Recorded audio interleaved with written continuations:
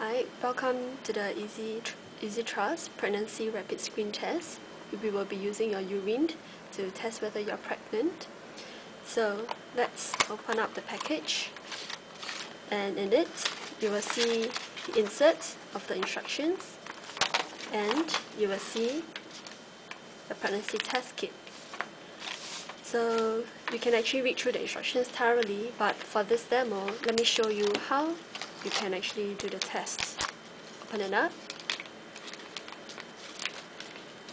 And this is the pregnancy test kit. You have to remove the cap. And you notice this is the sample application window where you will actually urinate on this. And this is the test window. If you notice there will be a C line and a T line C meaning the control line region and T the test line region so all you have to do is to urinate onto the sample application window but please take note that we will be using a midstream urine Another way to do it is to urinate in a clean container and please take note only to contain your midstream urine and you can dip this sample application window into the container for about 10 seconds.